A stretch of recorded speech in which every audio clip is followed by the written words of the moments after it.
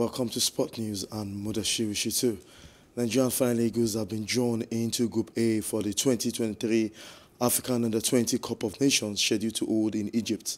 The draw see the African giant plate in what we could be regarded as the toughest group of the competition with host and four-time champions Egypt, 1987 quarter-finalist Mozambique and three-time finalist Senegal.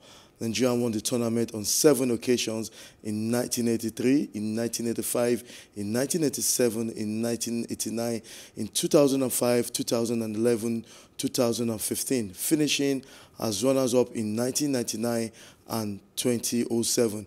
Had secured a bronze medal finish in 1995, 2009 and 2013 winning champions Ghana will not get a chance to defend the title after they failed to qualify for the tournament. The, four, the top four teams from Egypt 2023 will qualify for the FIFA Under-20 World Cup scheduled to hold in Indonesia next year.